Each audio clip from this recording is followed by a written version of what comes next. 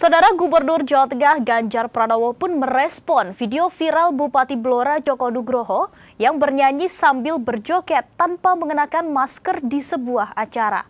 Ganjar meminta agar pemimpin memberikan contoh yang baik kepada warganya, terutama dalam penanganan COVID-19. Ganjar Pranowo yang ditemui wartawan mengaku mengetahui Bupati Blora Joko Nugroho bernyanyi sambil berjoget tanpa mengenakan masker di sebuah acara dari media sosial yang sempat viral.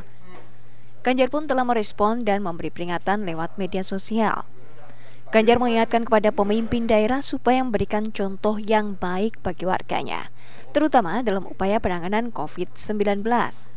Atas pelanggaran protokol kesehatan ini, Ganjar tidak akan beri sanksi namun meminta Bupati untuk introspeksi diri.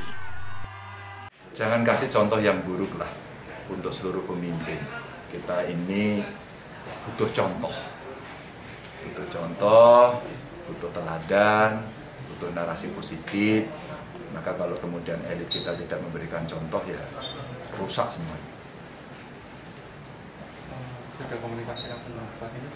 Uh, langsung tidak kemarin saya tuliskan karena saya terimanya juga dari medsos maka saya minta untuk mereka menyampaikan. Karena sebenarnya uh, di Blora sendiri dari cara berkomunikasi melalui medsosnya saya anggap termasuk yang bagus cukup responsif maka cukup untuk mereka melakukan itu gitu ya.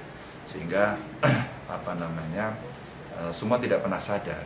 Maka kalau sudah pemimpin tertingginya nanti begitu ya ini akan menjadi contoh tidak baik jangan diulangi lah nanti menimbulkan kesungkanan-kesungkanan seperti yang lain.